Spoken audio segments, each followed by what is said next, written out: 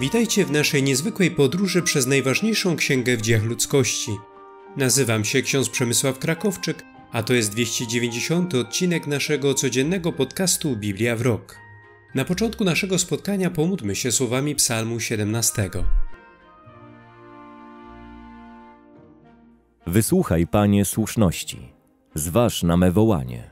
Przyjmij moje modły z warg nieobłudnych. Niech przed Twoim obliczem zapadnie wyrok na mnie. Oczy Twoje widzą to, co prawe. Choćbyś badał me serce, nocą mnie nawiedzał i doświadczał ogniem, nie znajdziesz we mnie nieprawości. Moje usta nie zgrzeszyły ludzkim obyczajem.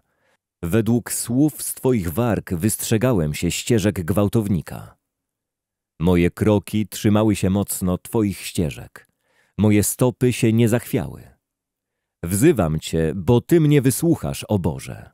Nakłoń ku mnie Twe ucho, usłysz moje słowo. Okaż miłosierdzie Twoje, zbawco tych, co się chronią przed wrogami pod Twoją prawicę. Strzeż mnie jak źrenicy oka. W cieniu Twych skrzydeł mnie ukryj, przed występnymi, co gwałt mi zadają, przed śmiertelnymi wrogami, co otaczają mnie zewsząd. Zamykają oni swe nieczułe serca, przemawiają butnie swoimi ustami. Okrążają mnie teraz ich kroki, natężają swe oczy, by mnie powalić na ziemię. Podobni do lwa dyszącego na zdobycz, do lwiątka, co siedzi w kryjówce. Powstań, o Panie, wystąp przeciw niemu i powal go. Swoim mieczem wyzwól moje życie od grzesznika, a Twoją ręką, Panie, od ludzi. Od ludzi, którym obecne życie przypada w udziale i których brzuch napełniasz Twymi dostatkami, których synowie jedzą dosyta, a resztę zostawiają swoim małym dzieciom. Ja zaś w sprawiedliwości ujrzę Twe oblicze, powstając ze snu, nasycę się Twoim widokiem. W rozdziałach 27 i 28 księgi Ezechiela prorok przedstawia opis miasta Tyru, jego bogactwa oraz znaczącego handlu.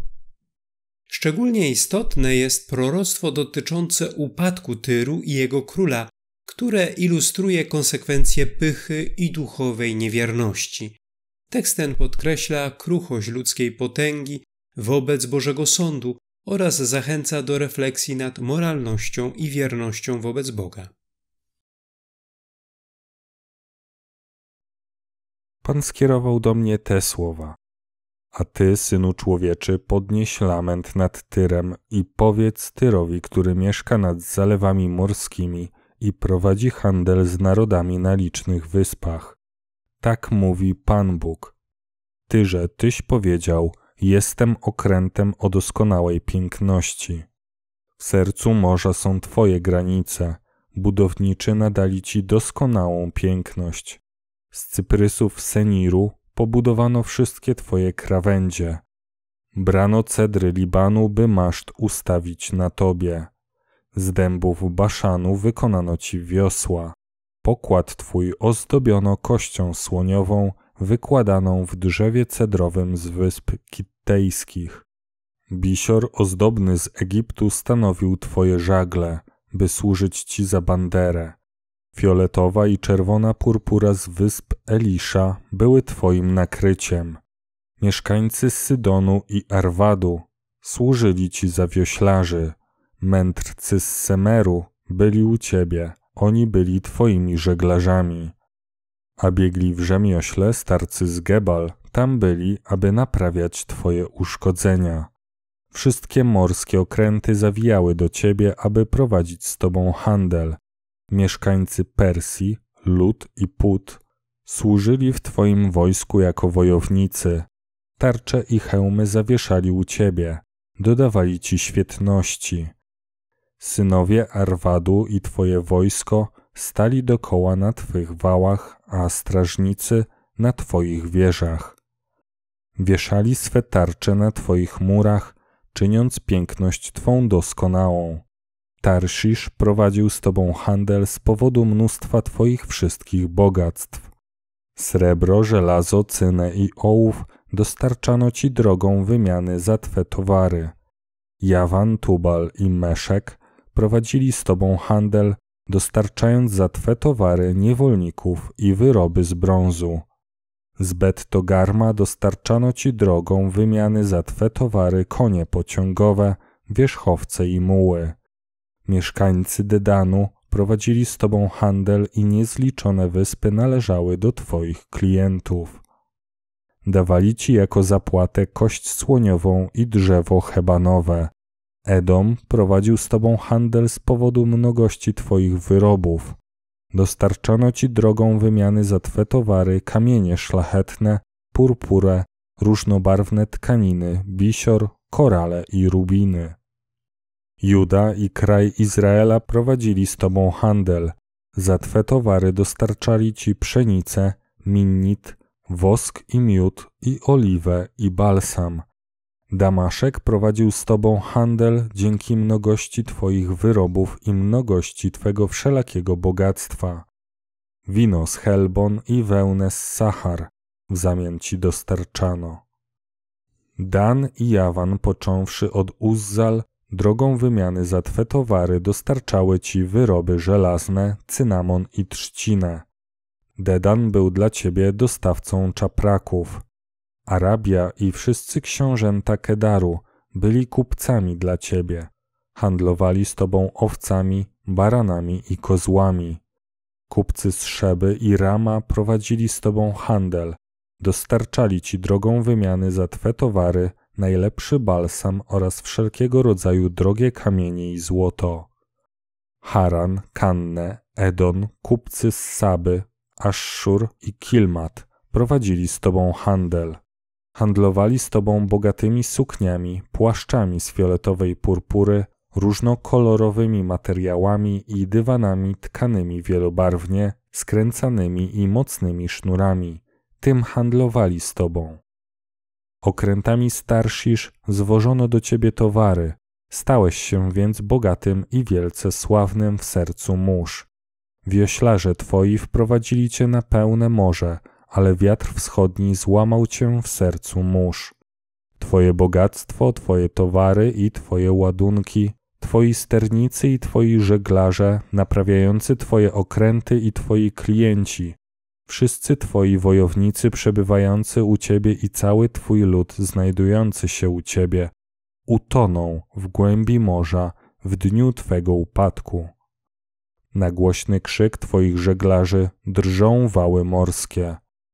Wszyscy, którzy wiosłują, stępują ze swoich statków, żeglarze i wszyscy sternicy morscy pozostają na lądzie. Głośno lamentują nad Tobą, podnosząc gorzkie wołanie posypują głowy ziemią i tarzają się w popiele. Przez wzgląd na ciebie golą sobie głowy i przywdziewają wory. Płaczą nad tobą w ucisku serca, skarżąc się gorzko. Podnoszą nad tobą lament serdeczny i narzekają.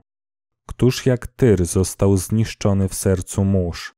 Gdy towary twe szły poza morze, syciłeś wiele narodów, Dzięki mnogości dóbr Twoich i Twoich towarów bogaciłeś królów ziemi. Teraz zostałeś rozbity przez morskie fale i leżysz w morskiej toni. Twoje towary i wszyscy Twoi mieszkańcy zatonęli razem z Tobą. Wszyscy mieszkańcy wysp zdumiewają się nad Tobą, a królowie ich, zdjęci strachem, trwożą się bardzo. Kupcy z różnych narodów gwiżdżą nad Tobą, stałeś się postrachem i na zawsze zostałeś unicestwiony. Pan skierował do mnie te słowa: Synu człowieczy, powiedz władcy Tyru, tak mówi Pan Bóg, ponieważ serce twoje stało się wyniosłe. Powiedziałeś: Ja jestem Bogiem, ja zasiadam na boskiej stolicy w sercu mórz. A przecież ty jesteś tylko człowiekiem, a nie Bogiem, i rozum swój chciałeś mieć równy rozumowi Bożemu. Oto jesteś mędrszy od Danela, żadna tajemnica nie jest ukryta przed tobą. Dzięki swej przezorności i sprytowi zdobyłeś sobie majątek, a nagromadziłeś złota i srebra w swoich skarbcach. Dzięki swojej wielkiej przezorności, dzięki swoim zdolnościom kupieckim, pomnożyłeś swoje majątności i serce Twoje stało się wyniosłe z powodu Twego majątku. Dlatego tak mówi Pan Bóg. Ponieważ rozum swój chciałeś mieć równy rozumowi Bożemu. Oto dlatego sprowadzam na ciebie cudzoziemców, najsroższych spośród narodów. Oni dobędą mieczy przeciwko urokowi Twojej mądrości i zbezczeszczą Twój blask. Zepchną Cię do dołu i umrzesz śmiercią nagłą w sercu mórz. Czy będziesz jeszcze mówił, ja jestem Bogiem w obliczu swoich oprawców? Przecież będziesz tylko człowiekiem, a nie Bogiem, w ręku tego, który cię będzie zabijał. Umrzesz śmiercią nieobrzezanych z ręki cudzoziemców, ponieważ ja to postanowiłem. Wyrocznia Pana Boga. Pan skierował do mnie te słowa: Synu człowieczy, podnieś lament nad królem Tyru i powiedz mu: tak mówi Pan Bóg. Byłeś odbiciem doskonałości, pełen mądrości i niezrównanie piękny. Mieszkałeś w Edenie, ogrodzie Bożym. Okrywały cię wszelkiego rodzaju szlachetne kamienie. Rubin, topaz, diament, tarszisz, onyks, beryl, szafir, karbunkuł, szmaragd, a ze złota wykonano okrętki i oprawy na tobie przygotowane w dniu twego stworzenia. Jako wielkiego cheruba opiekunem ustanowiłem cię na świętej górze Bożej. Chadzałeś pośród błyszczących kamieni. Byłeś doskonały w postępowaniu swoim od dni twego stworzenia, aż znalazła się w tobie nieprawość. Pod wpływem rozkwitu twego handlu wnętrze twoje napełniło się uciskiem i zgrzeszyłeś, wobec czego Zrzuciłem cię z góry Bożej i jako cherub opiekun zniknąłeś spośród błyszczących kamieni. Serce twoje stało się wyniosłe z powodu twej piękności. Zanikła twoja przezorność z powodu twego blasku. Rzuciłem cię na ziemię, wydałem cię królom na widowisko. Mnóstwem twoich przewin, nieuczciwością twego handlu zbezcześciłeś swoją świątynię. Sprawiłem, że ogień wyszedł z twego wnętrza, aby cię pochłonąć, i obróciłem cię w popiół na ziemi, na oczach tych wszystkich, którzy na ciebie patrzyli.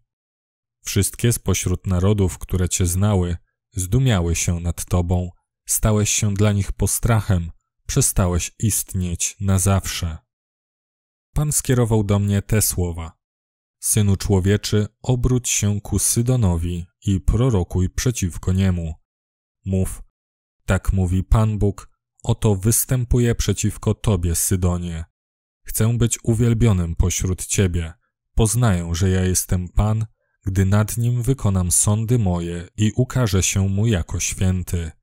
Ześlę na niego zarazę i krew na jego ulice, a zabici będą upadać w jego środku, pod razami miecza podniesionego na niego zewsząd. I poznają, że ja jestem Pan a dla domu Izraela nie będzie już więcej ani ciernia raniącego, ani żądła zadającego ból ze strony tych wszystkich, którzy mieszkają dokoła, którzy ich nienawidzili i poznają, że ja jestem Pan. Tak mówi Pan Bóg. Kiedy zgromadzę dom Izraela spośród narodów pogańskich, wśród których został rozproszony, w nim będę uwielbiony na oczach narodów pogańskich będą mieszkać na swojej ziemi, którą dałem słudze memu Jakubowi. Będą na niej mieszkać bezpiecznie, będą budować domy i uprawiać winnice. Będą mieszkać bezpiecznie, podczas gdy nad wszystkimi dokoła, którzy ich nienawidzili, ja będę wykonywać sądy i poznają, że ja jestem Pan, ich Bóg. W pierwszym liście świętego Piotra, rozdział 5, apostoł zwraca się do starszych Kościoła, zachęcając ich do troskliwej i pokornej służby na wzór Chrystusa, bez dążenia do własnych korzyści. Wzywa wszystkich wierzących do pokory i zaufania Bogu, który wynagrodzi ich w swoim czasie. Piotr przestrzega również przed działaniami diabła, wzywając do czujności i mocnej wiary. Na koniec zapewnia o Bożej łasce, która po chwilowych cierpieniach umocni i utwierdzi wiernych. Starszych więc, którzy są wśród was, proszę, ja również starszy, a przy tym świadek Chrystusowych cierpień oraz uczestnik tej chwały, która ma się objawić. Paście stado Boże, które jest przy was, strzegąc go nie pod przymusem, ale z własnej woli, po Bożemu. Nie ze względu na brudny zysk, ale z oddaniem. I nie jak ci, którzy ciemiężą wspólnoty, ale jako żywe przykłady dla stada. Kiedy zaś objawi się najwyższy pasterz, otrzymacie niewiędnący wieniec chwały. Tak samo wy, młodzieńcy, bądźcie poddani starszym. Wszyscy zaś wobec siebie wzajemnie przyobleczcie się w pokorę. Bóg bowiem pysznym się sprzeciwia, a pokornym łaskę daje. Upokurzcie się więc pod mocną ręką Boga, aby was wywyższył w stosownej chwili. Wszystkie troski wasze przerzućcie na Niego, gdyż Jemu zależy na was. Bądźcie trzeźwi, czuwajcie. Przeciwnik wasz, diabeł, jak lew ryczący, krąży, szukając kogo pożreć. Mocni w wierze przeciwstawcie się Jemu. Wiecie, że te same cierpienia znoszą wasi bracia na świecie. A Bóg wszelkiej łaski, ten, który was powołał do wiecznej swojej chwały w Chrystusie, gdy trochę pocierpicie, sam was udoskonali, utwierdzi, umocni i ugruntuje. Jemu chwała i moc na wieki wieków. Amen. Krótko, jak mi się wydaje, wam napisałem przy pomocy Sylwana, wiernego brata, napominając i stwierdzając, że taka jest prawdziwa łaska Boża, w której trwacie. Pozdrawia was ta, która jest w Babilonie razem z wami wybrana – oraz Marek, mój syn. Pozdrówcie się wzajemnym pocałunkiem miłości. Pokój wam wszystkim, którzy trwacie w Chrystusie. Dziękuję za uwagę i zapraszam na jutrzejszy odcinek podcastu Biblia w Rok. Do usłyszenia.